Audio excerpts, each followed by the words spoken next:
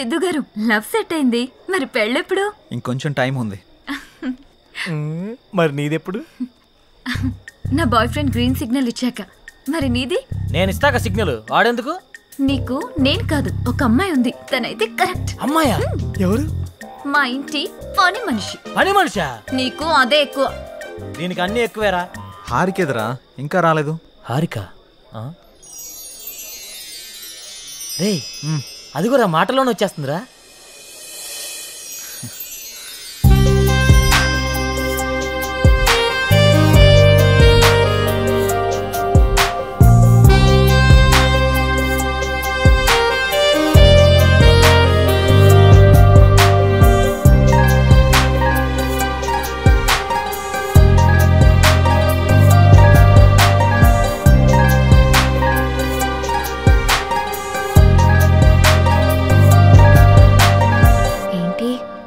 మింగేసేటట్టు అలా చూస్తున్నా? ఈరోజు చాలా బాగున్నావు హారిక. అంటే?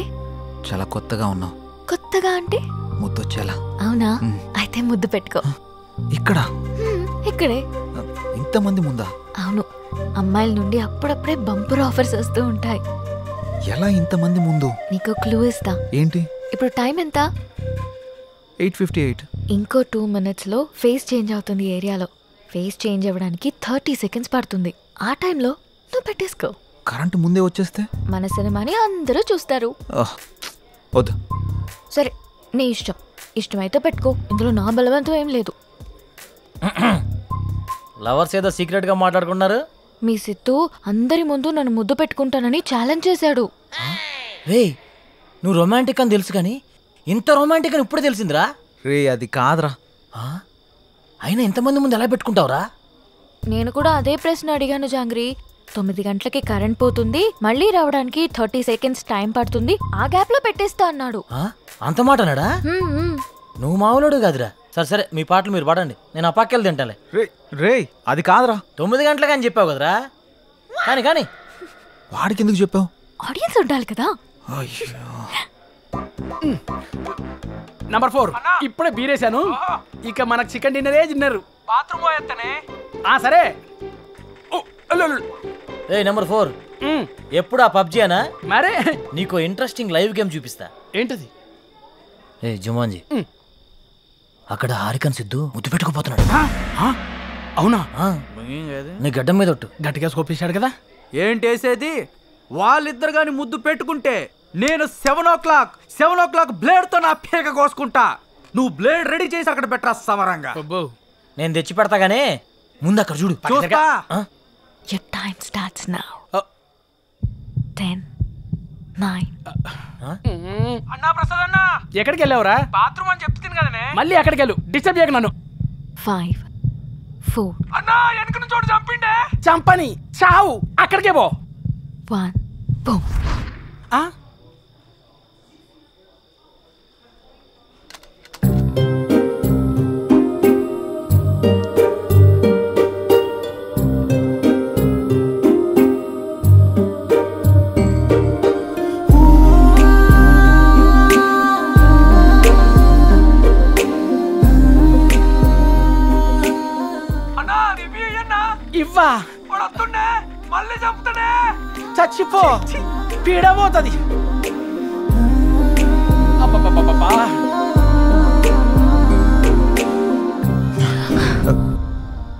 ఎవడ్రా పవర్ ఆన్ చేసింది? రే సెవెన్ ఓ క్లాక్ ఆ, పెట్టాడుగా? బ్లేడ్తో కోసుకుంటావా? ఏంటి కోసుకునేది? ఆ, ఆవేశంలో ఉన్నప్పుడు ఎన్నెన్నో అంటుంటాం. కోసుకుంటావా ఏంటి?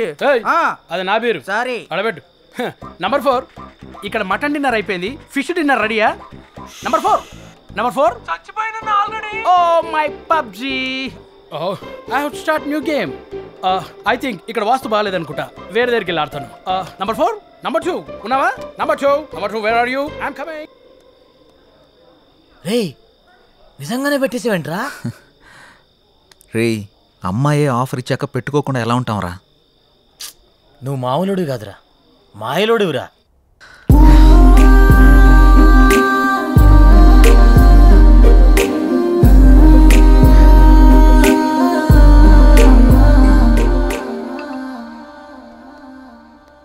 సురేంద్ర సార్. మన ఫస్ట్ లుక్ పోస్టర్ లాంచ్కి ఏర్పాట్లన్నీ పూర్తయినట్లేనా? అవుతున్నాయి సార్. శ్రేయాస్ మీడియా వాళ్ళు బాగా చేస్తున్నారు. వాళ్ళుండగా మనకి ఏ టెన్షన్ లేదు సార్.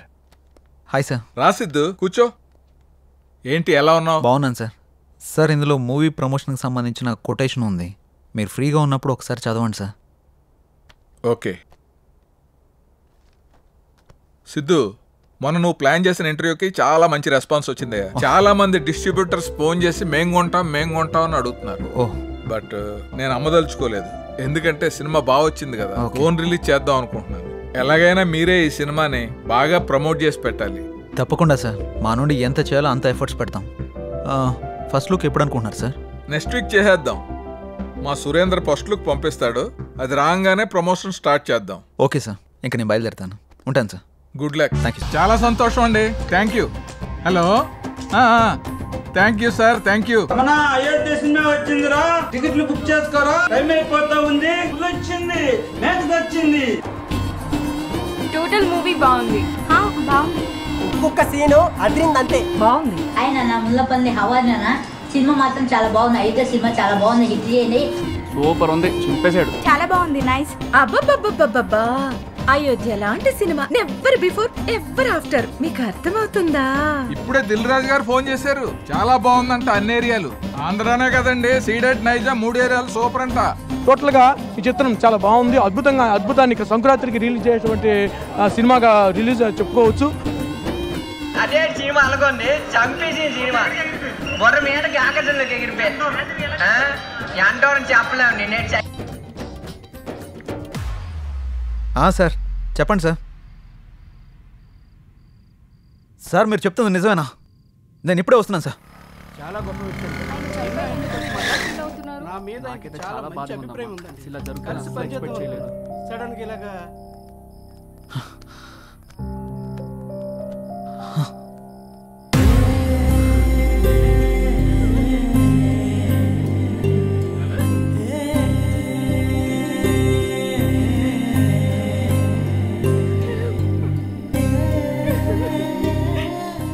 ఏం సార్? సూసైడ్ చేసుకున్నారు సిద్ధు. సూసైడా ఎందుకు సార్? సినిమా రిలీజ్ అయిన రోజే హెచ్డి ప్రింట్ పైరసీ బయటకు వచ్చేసింది. ఇప్పటి వరకు కనీసం యాభై లక్షల మంది డౌన్లోడ్ చేసుకుని ఉంటారు. ప్రింట్ బయటికి రావడంతో థియేటర్కి జనాలు రావడం మొత్తం తగ్గిపోయారు. రిలీజ్ అయిన రెండో రోజే మొత్తం కలెక్షన్స్ అన్ని పడిపోయాయి. పైగా అయోధ్య సినిమా కోసం ఆయన రెండు వందల కోట్లు అప్పు చేశారు సిద్ధు. అప్పుల వాళ్ళు ఫోన్ల పైన ఫోన్లు చేశారు. అప్పులు ఎలా తీర్చాలో తెలియక సినిమా పరిస్థితి ఏంటో అర్థం కాక ఆయన సూసైడ్ చేసుకున్నారు.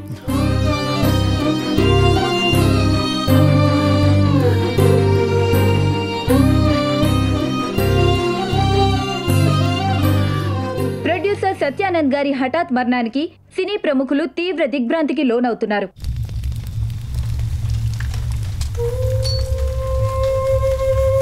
మనం పోయినా మన సినిమా ఎప్పుడు బ్రతికే ఉండాలి. నా ఊపిరి ఉన్నంత వరకు సినిమాలు తీస్తూనే ఉంటాను. సినిమాలు తీస్తూనే పోతాను.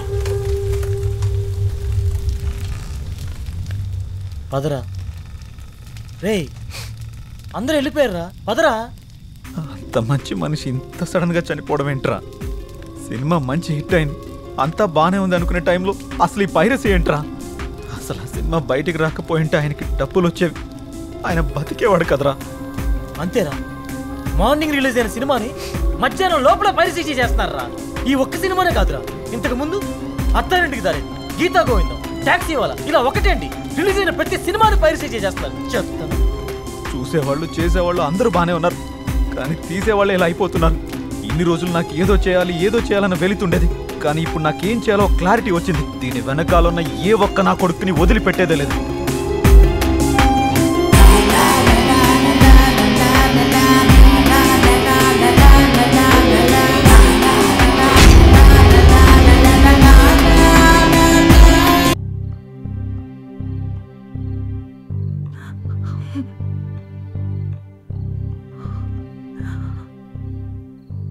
బాధపడకండి మేడం. ఆయన లేకున్నా ఆయన సినిమాలు ఇంకా బతికే ఉన్నాయి. మా ఆయన చిన్నప్పటి నుండి నాకు బాగా తెలుసు. పదేళ్ళ వయసు ఉన్నప్పుడు సినిమా మీద అభిమానంతో థియేటర్లో సినిమా టికెట్లు ఇచ్చే పని చేసేవారు. ప్రతిరోజు సినిమా చూడొచ్చు అని. ఆయన తీసిన మొదటి సినిమా ఫ్లాప్ అయ్యాక మనకి సినిమాలు కలిసి రావు అని నేనెంత చెప్పినా వినకుండా ఉన్నదంతా అమ్మేసి రెండో సినిమా తీసి సక్సెస్ అయ్యారు. మూడు వందల యాభై కోట్లతో సినిమా తీస్తాను అన్నప్పుడు ఎందుకండి రిస్క్ అని అడిగాను. కథ నచ్చింది. ఖచ్చితంగా ఆడొద్దని అప్పు చేసి మరీ తీశారు. రిలీజ్కి ముందు టెన్షన్ పడుతుంటే ఎందుకు తీయడం ఎందుకు ఇలా టెన్షన్ పడటం అని అడిగాను. సినిమా తీయడం ఒక అదృష్టం. అది అందరికీ రాదు. అందులో ఉన్న ఆనందం. చేసేవాడికి మాత్రమే తెలుస్తుంది అని అనేవారు. కానీ చివరికి ఆ సినిమా కోసమే తన ప్రాణాన్ని తీసుకున్నాడు బాబు.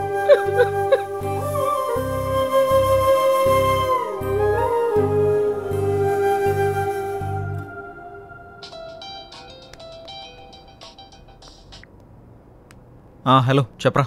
ఆ సైబర్ టీం వాళ్ళ కాంటాక్ట్ దొరికింది. వాళ్ళకి కాల్ చేశాను. రేపు మార్నింగ్ అపాయింట్మెంట్ ఇచ్చారు. సరే. రేపు వెళ్ళి కలుద్దాం. సార్ నా పేరు సిద్ధు. నేను హెచ్ఎం టీవీలో జర్నలిస్ట్ని. వీళ్ళు నా టీం. మొన్న అయోధ్య సినిమా పైరసీ అయి ప్రొడ్యూసర్ సత్యానంద్ గారు చనిపోయిన విషయం మీకు తెలిసే ఉంటుంది. యా. నాకు ఈ పైరసీ గురించి కొంచెం ఇన్ఫర్మేషన్ కావాలి సార్. ఓకే చెప్పండి. అసలు ఈ పైరసీ ఎలా జరుగుతుంది సార్? ఈ పైరసీ అనేది పెద్ద మాఫియా.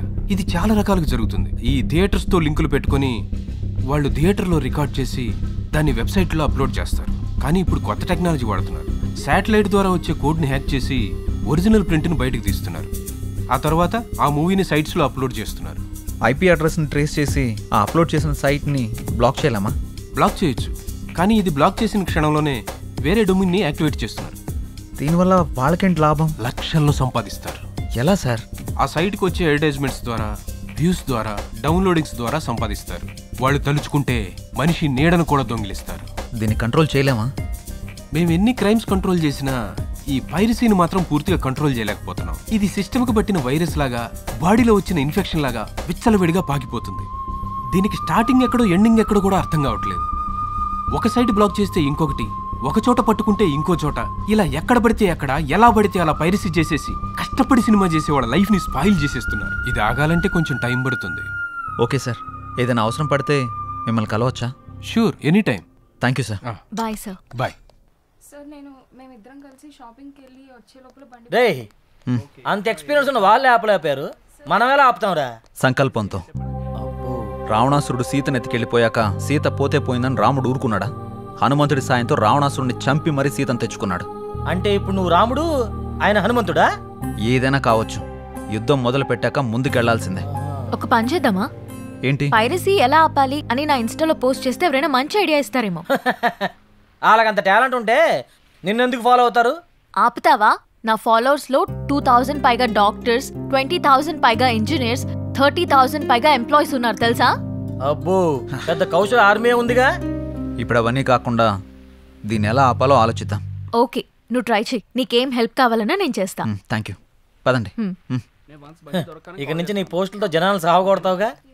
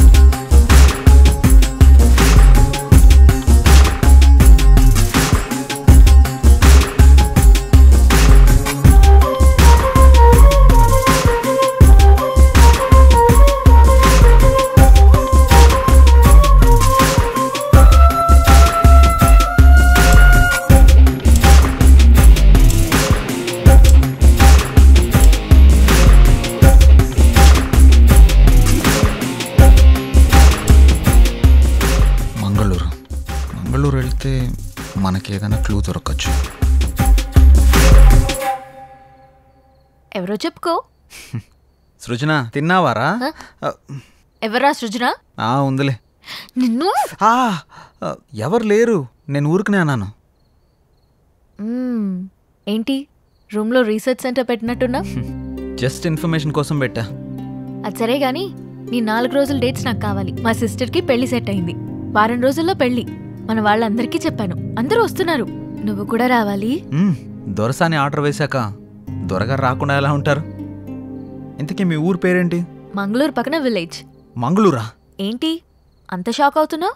సృజన అక్కడ ఉంటుందా ఏంటి? చిచి అలాంటిదేం లేదు. ఎప్పుడు బయలుదేరదాం? ఎల్లుండి.